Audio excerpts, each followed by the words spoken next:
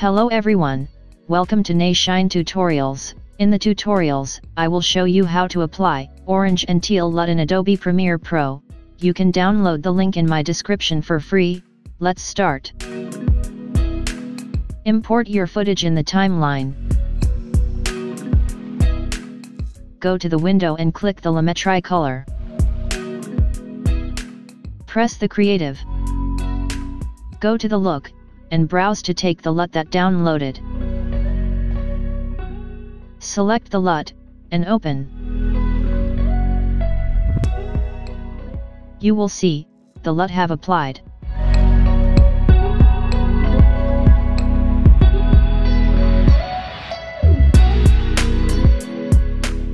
You can reduce the intensity, to make decrease the strong color.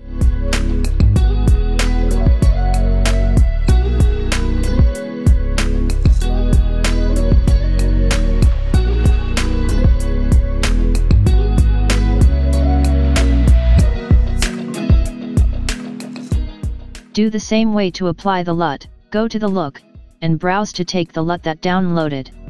Select the LUT, and open. You can reduce the intensity, to make decrease the strong color.